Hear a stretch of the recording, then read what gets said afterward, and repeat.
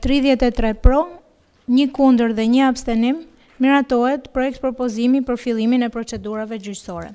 Kryebashkiakja e Shkodrës, Voltana Ademi është kallëzuar në gjykatë nga Këshilli Bashkiak Socialist. Shkak për këtë është bërë një vendim i njëzet e nëntë majit të Ademit, për zëvendësimin dhe emërimin e anëtarëve të Këshillit Mbikëqyrës të Klubit të Futbollit të Vllaznisë. Sipas këshilltarëve socialistë në këtë bashki, Voltana Ademi ka ushtruar një kompetencë që i takonte Këshillit Bashkiak.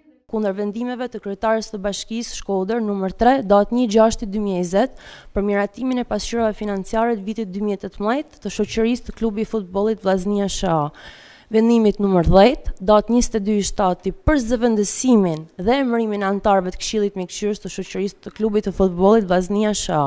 Teksa ne kena ujkun, ju merreni hala me gjurmë. Unë jam kënë kundër padive.